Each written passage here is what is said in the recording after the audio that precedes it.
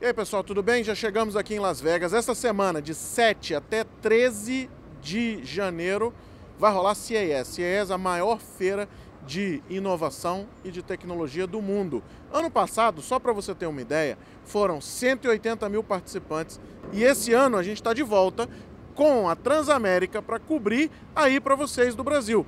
Então vamos ter muita coisa durante essa próxima semana. Eu convido você a participar das lives que a gente vai estar fazendo lá na página da Transamérica Brasília, lá no canal do JorgeCast no YouTube, youtube.com.br JorgeCast e também aqui no Facebook, facebook.com.br JorgeCast. Não perca, vamos bater papo, vamos falar sobre tecnologia e principalmente vamos trazer muita inovação, muita coisa que vai acontecer e que vai se tornar realidade agora no ano de 2018.